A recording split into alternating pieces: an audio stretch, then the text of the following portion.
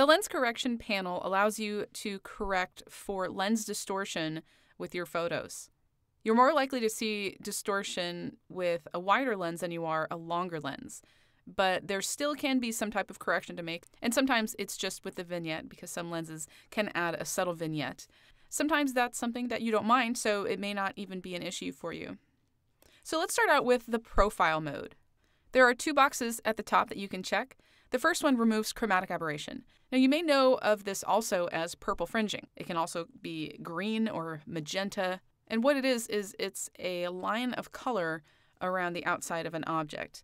If I zoom in here on this image, you can see that there's a purple outline. It's kind of a magenta in a way that's kind of outlining some of this area. And if you really look at the image, you can start to see it kind of appear in more places. A lot of the times it's going to be where there's a lot of contrast uh, the amount of purple fringing or chromatic aberration you get sometimes is dependent on the quality of your lens, but it's still going to appear in really good quality lenses. This is a pro lens, a 14 millimeter Canon lens, and uh, but you know you just can't avoid these things sometimes.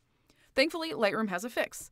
So to remove it, all you have to do is just check this remove chromatic aberration box, and it will find that in your image and then just wipe it away.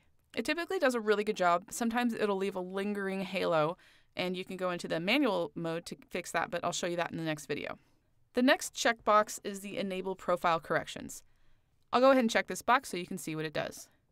The result that you see when you check this box is very dependent on whether or not you have an actual lens profile installed into Lightroom.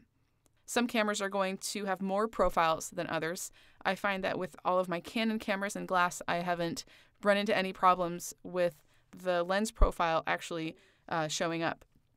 There's also a little preset section here. So if you come up with a, pro- a, profile that you've basically created, because you can go through these and actually select uh, different things. So if you find that there is a profile that works better for your specific image, you can set that up and then uh, just kind of save it as a default in there.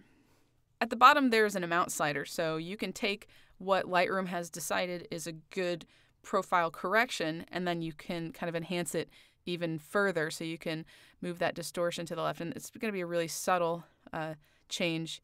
And you can also increase or decrease uh, that vignette there as well.